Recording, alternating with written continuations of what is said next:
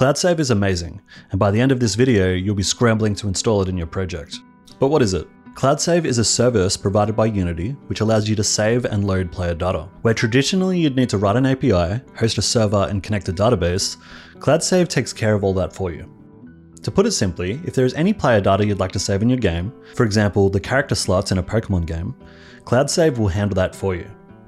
Let's take a look at some real world examples of how you could use CloudSave in your game. Have you ever downloaded a game you love only to find that the old save from years ago is waiting for you? CloudSave can accomplish this for your game. Or how about allowing players to continue their game across multiple devices, such as PlayStation, PC, mobile, and Xbox? This is another feature that CloudSave can offer. Why make players configure your game settings each time they install it when you could simply back up their favorite configuration and load it the next time they install your game? If we look to the mobile game market, CloudSave can help with things like daily login rewards or keeping track of what items users have purchased from the store, such as starter packs, which are generally limited to one per player. Whether you have a single player or a multiplayer game, CloudSave can benefit your project.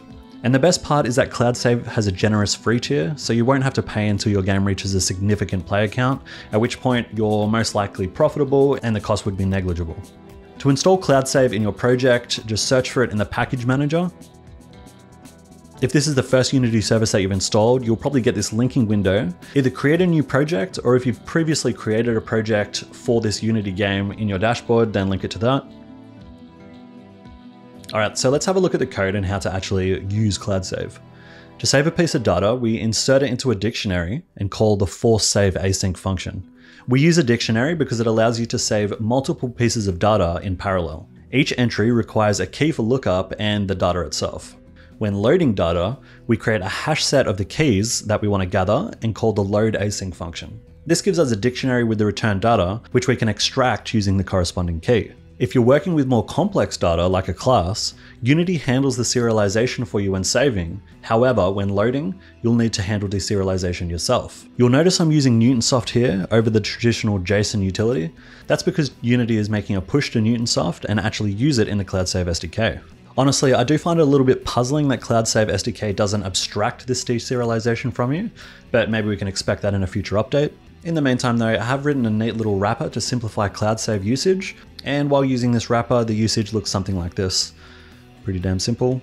To help you get started with CloudSave, I've created a fun little game for you to download and play with. The game features a character select screen with three potential slots, all of which are saved to CloudSave. Once you select a character and jump into the game, you can level up by pressing this button, and your progress will be saved asynchronously in the background. In this game, I'm calling the save function on every level up press, but your game might autosave on a timer, or maybe when the player hits a collider, or just finishes a level. You can get the project down in the description. I've also included a separate link if you just want the cloud save wrapper that I wrote, if that's really all you're interested in. Happy developing, my lovelies.